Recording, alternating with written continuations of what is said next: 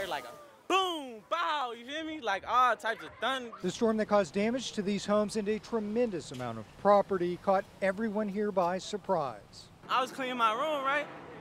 And then all I hear is my cousin talking about some, it's a tornado outside. When Francisco Gomez stepped outside of his home once the storm had passed, this is what he saw.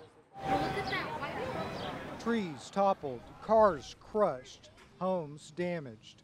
The carport just blew off and blew over here. You can see with people standing next to it how big it actually really is. You can't really tell unless somebody by it. At first, Mike Thomas said he thought a tree had fallen onto his roof. Turns out it was a carport pole pulled out of the ground. Some of them ended up in his backyard. Neighbors are skeptical about how much of the damage will be covered by insurance, but that's not what matters most. As long as everybody's okay, right? Everybody was safe? Yeah, everybody's safe. That's all that matters to us.